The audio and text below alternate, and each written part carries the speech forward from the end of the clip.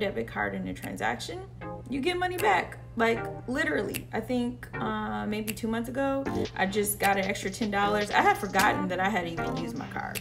It was nice. Hey, the extra, actually, any extra money, I'm happy to um, accept.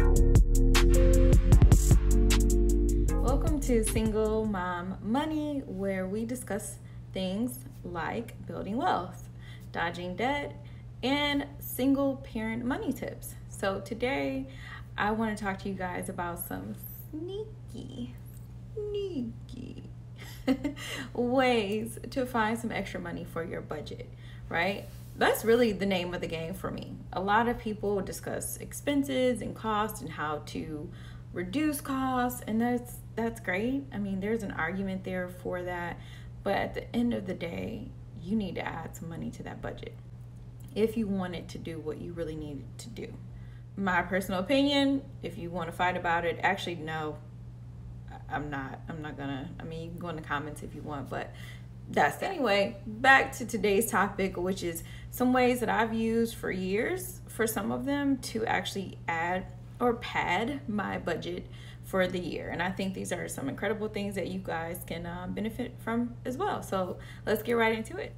The first one is cash back. So take advantage of cash back. Mostly I'm referring to debit cards, but we will touch on credit cards in a bit. So those debit cards, um, namely from your bank. I have one, I bank with PNC Bank, well, one of my banks. Um, there are other banks that have similar programs where simply because they have a partnership with a certain business or company, if you use their debit card in a transaction, you get money back. Like literally, I think uh, maybe two months ago, I just got an extra ten dollars. I had forgotten that I had even used my card. It was nice. Hey, the extra, actually, any extra money, I'm happy to um, accept. So I didn't do anything outside of my norm, which is always something that I am looking to do is to make money doing what I'm already doing. Target has a similar debit card, so that means that you aren't you're using your own money essentially with these debit cards. Uh, and they don't give you cash back per se but they will reduce your cost right at the register um, another one like i mentioned is, is credit cards. And this is not something i really am an advocate of for cash back but most certainly if you are responsible with your credit card meaning that you pay it off every month before the interest is calculated and accrued then look into cash back. I mean, you can get paid to buy groceries, your gas, I mean, really anything, shopping. It's a great way to generate a little bit of income. Um, for me, with the cashback rewards programs, either through my debit cards or my credit card, I easily get about five to ten dollars per month. And if I top off at ten dollars per month, that's a hundred and twenty dollars a year. Like literally from just using the same card that I would have used anyway to do the things I was already doing. So that's why I'm a big advocate of getting those cashback um, mostly debit cards or transactions basically. Uh, but credit cards again if, if you uh, feel you're responsible to use credit cards. Another really good cashback program which i will um, link in the description here is ebates. Well it was called ebates but now it's called some weird name like Rakuten. That sounds crazy. But that's what it's that's what it's called. It's an awesome program because what they do is they partner mostly with um, like clothing stores, but they have all sorts of partnerships. I'm even planning to buy my tires through Ebates. So essentially, the way that you get paid is you log onto their website first because they have this partnership with whatever online company. You get a percentage of whatever you pay for through. Well, I mean, yeah. First, you have to be on their site, and then they kind of bounce you to the to the other site to make the purchase, and then a piece of that that purchase price comes back to you in the form of a cashback. So here's Rakuten or Ebates or whatever you want to call it. Um, just to give you guys a quick overview of what this interface looks like. This is the app. It's pretty simple to use, as you can tell. I'm looking through some deals that they have right now. Um, it's also sorted by A to Z, the business partners that they have, where you can get cash back. So I'm just scrolling through that really quickly. You can already tell there's like quite a few different businesses that they partner with. the list goes on. It's pretty extensive. And then there's cash back only because they do offer some coupons for certain businesses. So if you want to sort out those who only offer cash back, you can do that as well. And they have their featured um, partners as, as well as you can see. But it's pretty simple to use, very straightforward. I don't have any issues navigating the site at all. All right, next, so we have our hot deals, which are just just that really good deals that are going on right now. There's quite a few of those.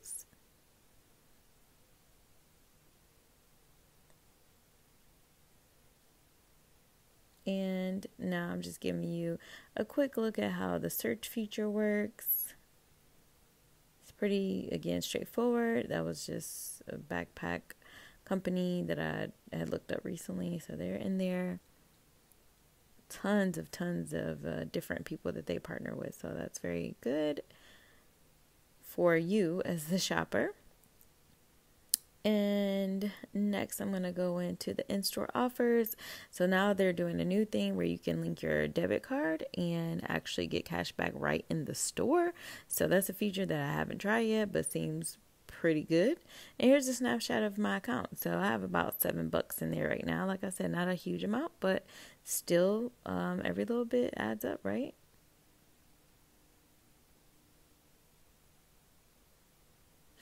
All right, so I'm going to show you guys kind of how to earn cash back. Like I mentioned, log into the site first, they bounce you to another um, site, and that's when you make your purchase and then you get paid out every three months. So they have a schedule listed here so you can see when you'll get that nice check.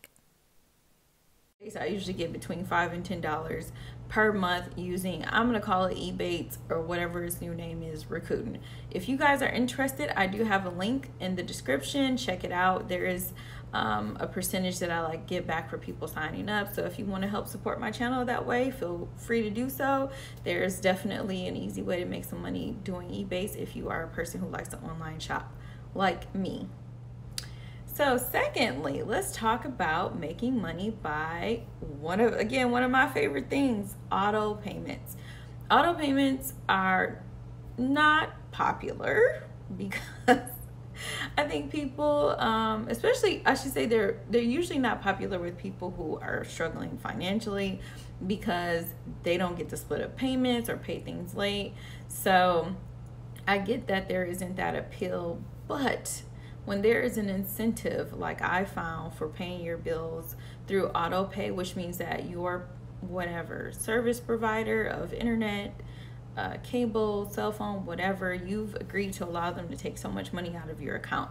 I don't typically do it unless there's an incentive. In this case, I have two different uh, providers who have given me a reduction of basically a credit of uh, $10 per month simply by allowing them to auto debit my account. You don't want to just like let this thing ride. You want to pay attention to your bills still obviously make sure that things are accurate and you're being billed correctly but I mean, essentially, I save $20 a month just by letting my cell phone, um, which gives me $10, my cell phone provider, and $10 for my internet provider um, because I allow them to, to auto debit. They credit my account $10.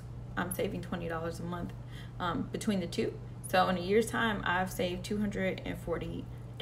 To me, that's pretty good, especially if you look at the, the prior number I just said, um, about $120. If I were to do about $10 a month between all my cash back um, things, which I most certainly get about $10 back between everything, then already I can't really do the math. I want to say that's $360 I'm doing pretty good. I'm only on step two. So certainly look into auto pay, especially if there is an incentive. One disclaimer I would give you for auto pay is to um, set up your bank accounts kind of like I do. I think this is one of the better ways, at least for me, because I have an account that's strictly for bills. So, you know, just because I went out partying with my friends or whatever last night, maybe I overspend a little bit. You know, it doesn't ever mingle, commingle with my primary checking, which is used for all of my bills. And I also get paid by direct deposit. So I already know which days, um, you know, I'll be paid. I know, should know. what days my bills are paid. So, I mean, you know, if you look at the calendar, figure it all out. Um, auto pay is one of those things that, as long as it's balanced and it's done correctly, you can certainly um, get an incentive by way of a credit or a reduced bill cost. So, that's number two. Number three is to look into rebates, especially for larger purchases. This is a great way for me. I easily get about $200 a year simply from rebate. You guys an example. I usually buy my contact lenses for a year at a time.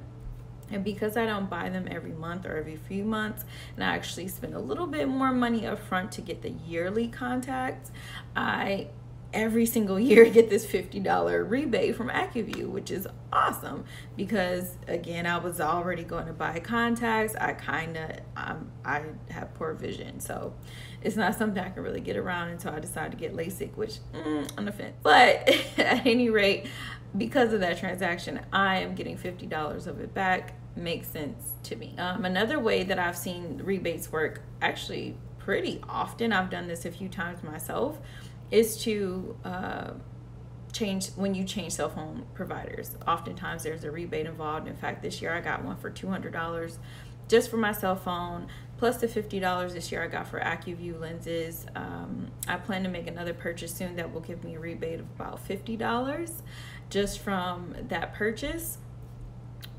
And I mean, again, if you do the math, that's what, $300? That's $300 just this year from getting rebate money, which usually takes a little bit longer. So it's not like cash back where you get a percentage of whatever you purchased back usually in the form of like a check or credit to your account. Rebates, you usually have to qualify for them. You got to send some paperwork in. But I mean, at the end of the day, it's still money in your pocket. That's what we are after. Okay. All right. So my next thing is referrals. Uh, I don't know if people take advantage of referrals enough. Maybe they don't think about them. I don't know. But for sure, there's a referral for where I live. I live in an apartment complex. And this is very typical of apartments. They will give you money as a way to, you know, drive their business. So if you refer someone who actually decides to sign a lease and move in, you will be compensated, which I think is a really good way to kind of add some money to your um, yearly budget and you help somebody else out maybe help a friend find a you know a really good place to live um, you help yourself out because you get a little bit of extra money uh, hey it's like a win-win situation for me. Uh, another way that i have seen the referral process or program or whatever you want to call it pay off is with jobs so I am trying to think. I've had at least two instances where I have referred someone for a job, they've gotten hired, and there's usually some sort of stipulation like they have to be hired and stay for 90 days or whatever, whatever, and then you finally get the money. But it's usually quite a bit. I think I've gotten uh, at least a few hundred dollars from referring a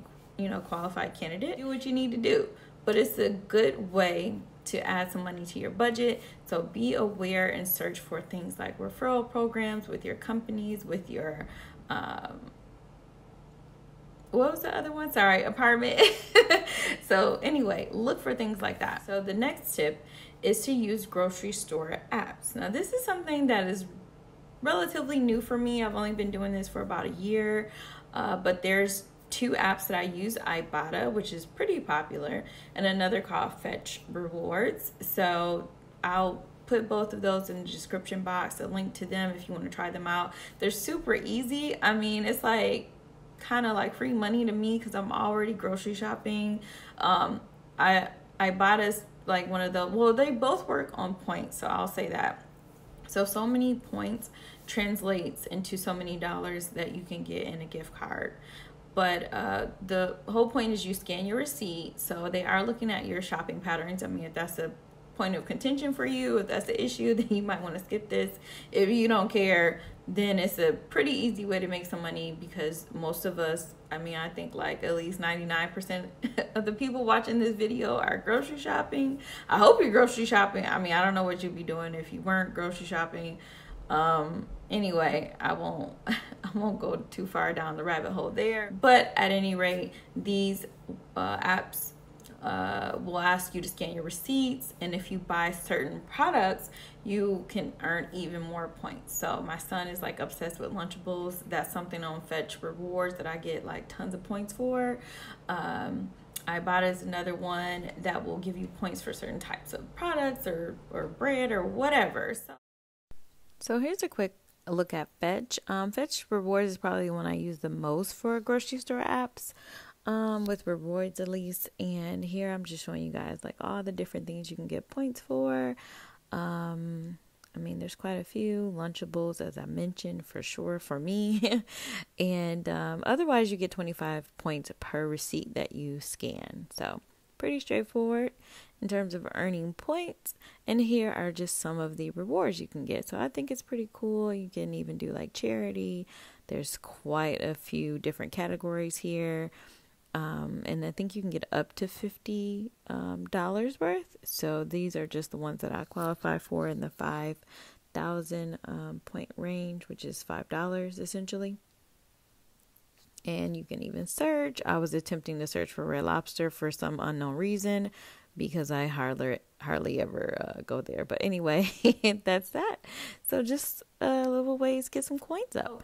Anyway, between the two, I get about five dollars per month. So $5 per month translates into about $60 per year that I'll talk about is consider switching banks, switching cell phone providers, switching cable providers, or whatever you're paying for.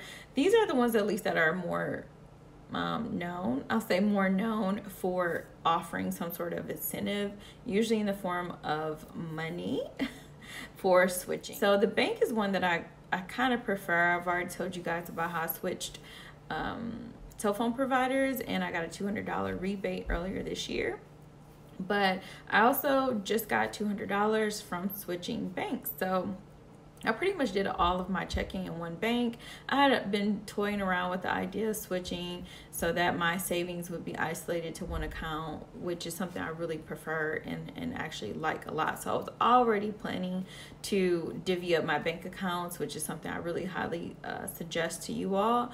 But at any rate, I'm getting off track. The point is, they gave me $200 because I brought some of my business to them. And I see this all the time, like Wells Fargo, um, Chase, uh, I don't particularly recommend Chase, but whatever. Um, yeah, sometimes credit unions, you'll get flyers in the mail like, hey, bring your business here. We'll give you $100 or $200. And it's usually not like that hard. A lot of them only require that you do um, so many auto debit or not auto debit, so many debit transactions and you get some direct deposit set up or something like that. It's pretty straightforward. It's not too huge of a hassle, especially if you're doing like me and you're already wanting to split up some of your accounts. So to get $200 in a year's time just from that one change, I think it's pretty pretty awesome. So let's do a tally up of all the things that I've talked about and what that money looks like. I've got my handy dandy clipboard here. We're gonna do a tally of what that looks like in the course of a year if you were to even just do one of each one of the things that I just mentioned. That makes sense? Like I offer multiple things for cashback or whatever. I'm just to choose one from each and we'll figure out the math. So let's talk about first the cashback. So I said that I easily can top out around $10 per month. So I'll just say five just for argument's sake. So let's say $5 per month. That is 60 bucks per year. Also, we talked about doing things like Ebates or whatever they're called now, Rakuten. again, I'll say $5. I'm being modest here, so that's another $60. I'm literally doing the math right now, so y'all just bear with me. and we talked about doing rebates, which I would say in a good year I may get $100 maybe not a, that's not a good year actually. That's like an average year. Sorry i used the wrong word. So average year give or take a hundred dollars. A referral a credit job or an apartment referral i'll say maybe a hundred dollars for that as well. That's not something you typically do like every single year right? Um, let's see switching banks. So easily for me i made 200 but i'll say a hundred dollars as well. We're being really really really modest here grocery store apps, Fetch Rewards, Ibotta, I make about uh five yeah five dollars. Sorry i was gonna say 50 that's not what i meant. Five dollars so that's another 60 auto pay is $240 per year because between the two providers that I allow to do the reduction, I literally take that quote unquote extra money and move it straight into my savings. So for me, that's a $240 earning extra money, whatever you want to call it, in my budget. So we've got for the course of the year 60, 60, 100, 100, 100, 60, $240. So 360s, if you're doing the math, is $180. We had three instances where we've gotten $100 each. So right now we're at 480 plus the last $240 because we've decided to elect for auto pay on some of our bills, which brings us to a grand spanking total of $720. I don't know about you guys, but um, I was taking extra $720 per year. That's not a huge amount of money, but I was being pretty conservative about the numbers. And you can totally work some of these like the Ibotta and the Fetch Rewards and the Ebates and things like that. Even the cashback cards, I see people do incredible things where they get way more than $5 per month back. That's just me not really that's just my regular spending. I don't really go out of my way um, to take advantage, I'll say, of the cashback rewards and cards like I know that I could. So if you want to learn how to get extra money, I'm sure there's people out there that talk in more detail about each one of these things. But I think $720 extra in your yearly budget is awesome. That's a whole vacation for me. Actually, I might be able to get two vacations out of that or whatever you want it to be. So, at any rate, guys, it has been a pleasure as always. I want to see in the comments things that you all are doing to add some little extra money to your budget, pad that um, that yearly budget. Just you know, give yourself so yourselves a little bit more flexibility. Please uh, like this video if you found it helpful. If you're interested in more content, subscribe. Let me know what you guys are thinking. I, I love to have these sorts of discussions. So let's keep it up. And if you are interested in following me on social media, I can be found on Instagram at single mom money. All right, it's been a pleasure as always. Like I said, it's Robin Janae signing out. Besitos.